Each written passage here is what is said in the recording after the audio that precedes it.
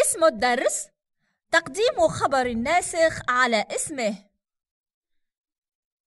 نحن نعرف أن الجملة الاسمية تتكون من مبتدأ وخبر وأنه حين تدخل على الجملة الاسمية نواسخ فعلية أو حرفية يسمى المبتدأ اسم الناسخ ويسمى الخبر خبر الناسخ واحد النواسخ الفعلية.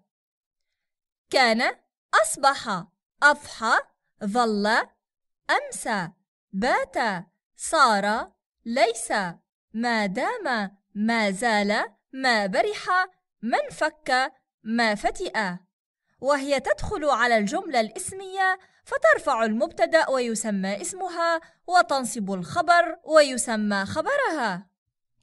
مثل كان التلميذ مجتهدا. كان فعل ماض ناقص مبني على الفتح ناسخ فعلي. التلميذ اسم ناسخ مرفوع بالضمة الظاهرة في آخره. ومجتهدا خبر ناسخ منصوب بالفتحة الظاهرة في آخره. اثنان. النواسخ الحرفية. إن أن كأن لكن ليت لعل. وهي تدخل على الجملة الاسمية فتنصب المبتدأ ويسمى اسمها وترفع الخبر ويسمى خبرها. مثل إن التلميذ مجتهد. إن ناسخ حرفي. التلميذ اسم ناسخ منصوب بالفتحة الظاهرة في آخره. ومجتهد. خبر إن مرفوع بالضمة الظاهرة في آخره. كيف يتقدم خبر الناسخ على اسمه؟ يتقدم خبر الناسخ على اسمه إذا كان شبه جملة جارا ومجرور أو ظرفا مضافا ومضافا إليه وكذلك يجب أن يكون اسم الناسخ نكرة يتقدم خبر الناسخ على اسمه إذا كان جار ومجرور مثال عن ذلك إن في الدار زيدا إن في قاعة الدرس أربعين طالبا. يتقدم خبر الناسخ على اسمه إذا كان ظرفا مضافا ومضافا إليه مثال عن ذلك كان عندك زيد. إن فوق الطاولة كتابا. استنتاجات. إذا تقدم الخبر على الاسم يشترط في ذلك أن يكون اسم الناسخ نكرة ويكون الخبر جارا ومجرورا أو ظرفا مضافا ومضافا إليه. اسم هذه النواسخ يكون إما ظاهرا وإما ضميرا. خبر هذه النواسخ يأتي اسما مفردا أو شبه جملة. التمرين الأول. أسطر الجمل الاسمية المبدوءة بناسخ وأكمل الجدول الموالي. كأن الرعب معشش في قلوبكم إن الإيمان بالله جدير بأن يدحض الخوف ويزرع الطمأنينة. يا أبي لقد كان لصوت الرعد زلزلة تصم الأذنين وكان للرياح عواء شديد ومخيف وإن الجو مرعب فلا يضيق صدرك بما أصابنا من ذعر.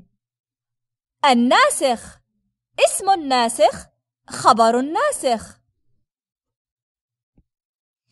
الإجابة. الناسخ. كأن. اسم الناسخ. الرعب خبر الناسخ معشش. الناسخ إن اسم الناسخ الإيمان بالله خبر الناسخ جدير. الناسخ كان اسم الناسخ زلزلة خبر الناسخ لصوت الرعد. الناسخ كان اسم الناسخ عواء خبر الناسخ للرياح. الناسخ. إن اسم الناسخ الجو خبر الناسخ مرعب. التمرين الثاني. أدخل على الجمل الآتية ناسخا فعليا مستعينا بما ورد بين قوسين. السماء صافية. في الماضي.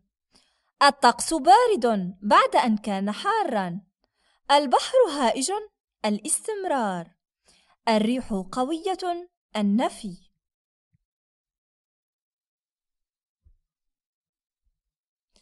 الإجابة كانت السماء صافية. أصبح الطقس باردا. ما زال البحر هائجا. ليست الريح قوية. التمرين الثالث. أغير محل اسم الناسخ بالتقديم أو التأخير وأغير ما يجب تغييره. الجملة الأصلية. كانت فوق المائدة مزهرية. إن للكتاب فوائد عديدة. لعل الغيوم في السماء. الجملة بعد التغيير.